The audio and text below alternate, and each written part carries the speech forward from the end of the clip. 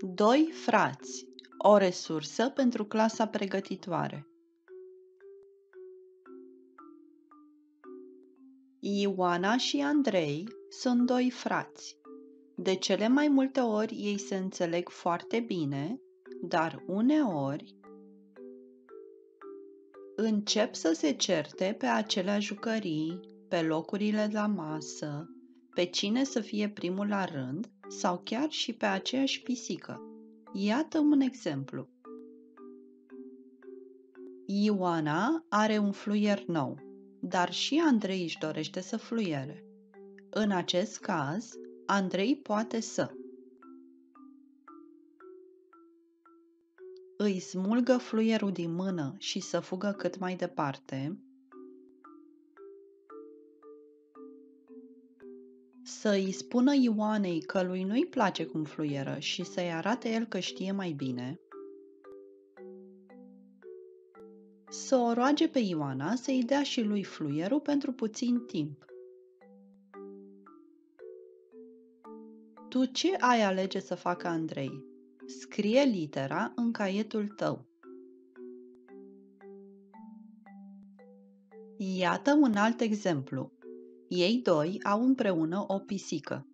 Uneori, pisica alege să stea la Andrei, iar Ioana își dorește și ea pisica chiar în acel moment. Ce ar trebui să facă Ioana? Să tragă pisica de coadă astfel încât aceasta să-l zgârie pe Andrei,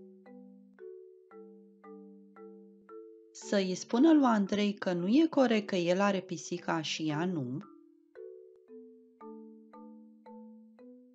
să se joace cu pisica împreună cu Andrei. Tu ce ai alege să facă Ioana? Scrie litera în caietul tău. Iată un ultim exemplu. Mama îi cheamă la masă. Andrei ajunge primul și se așează pe locul pe care ar vrea și Ioana să stea. Ce ar trebui să facă mama? Să îi cheme din nou pe copii la masă și câștigă cine ajunge primul, pe locuri, fiți gata, start. Să îi spună lui Andrei să îi dea Ioanei locul său de la masă, să îi ofere Ioanei celălalt loc la masă.